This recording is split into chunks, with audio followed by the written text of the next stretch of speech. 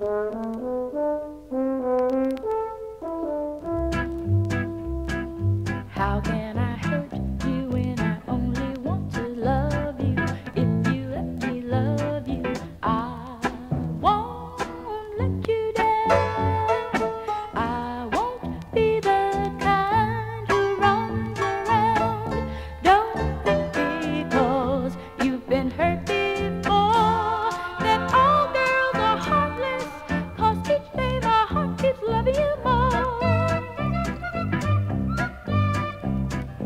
How can I hurt you when I never want to leave you? Why would I deceive you when?